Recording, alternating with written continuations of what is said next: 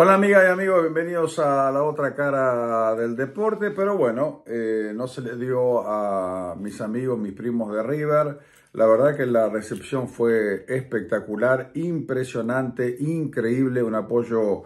eh, muy, pero muy grande de, la hinchada de River em, antes del partido, antes eh, del, encuentro con el banderazo y después cuando llegaron Em, los equipos, no tanto aparentemente por lo que hizo Borja durante el partido, sí, sí me gustó cuando empezaron a gritar a pesar que faltaban cinco minutos, pero Borja pedía que, alienten, pero bueno, ese es el estilo que tiene la gente de River. Em, Gallardo muy criticado, siempre lo mismo, es el, el, día después, es muy fácil criticar, no es tan, cuando uno no, no logra el objetivo,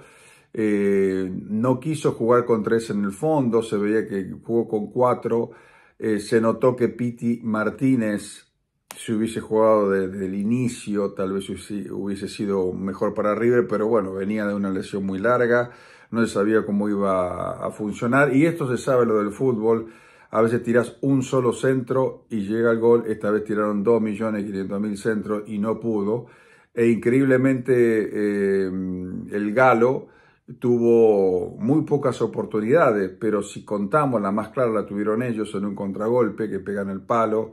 y después saca Armani eh, y otra que también Armani actuó muy bien eh, en el otro contragolpe de Atlético Mineiro. Pero bueno, se termina esto, Gallardo de todas maneras se sabe, no por el hecho de haber ganado todo lo que ganó, sino que por haber ganado esa final contra Boca va a ser eterno, no lo van a criticar, lo, le van a perdonar absolutamente todo, así que todo lo que podamos llegar a decir nosotros de afuera, porque no somos hinchas de River, los de, los de River no, no les interesa, e, eso ya es, eh, eso es como Bianchi en Boca, eh, no importa lo que pase ahora, y siempre lo van a querer y siempre lo van a respetar, y en el fondo tal vez le van a echar la culpa un poco más a los jugadores que al mismo Gallardo, eh, pero bueno, lo, dijo él antes del partido, el 9 que nosotros tenemos no la está metiendo y el 9 que tiene eh, River es Borja y, Borja se lo vio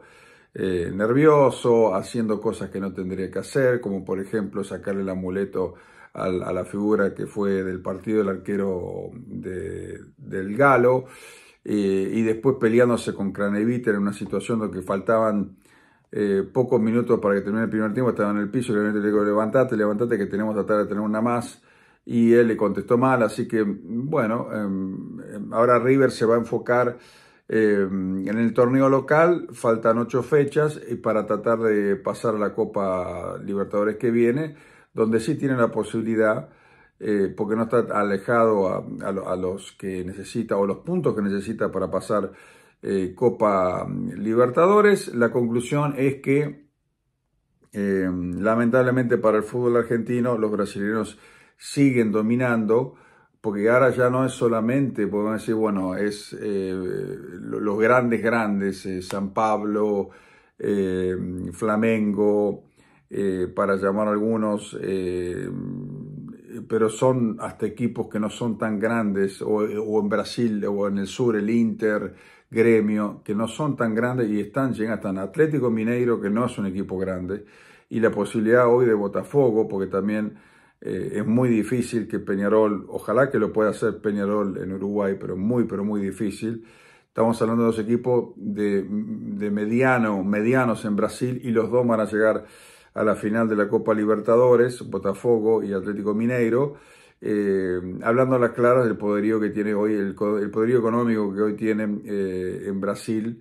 eh, donde, se, donde en las últimas Copas Libertadores son ellos los que mandan. Así que sigan participando.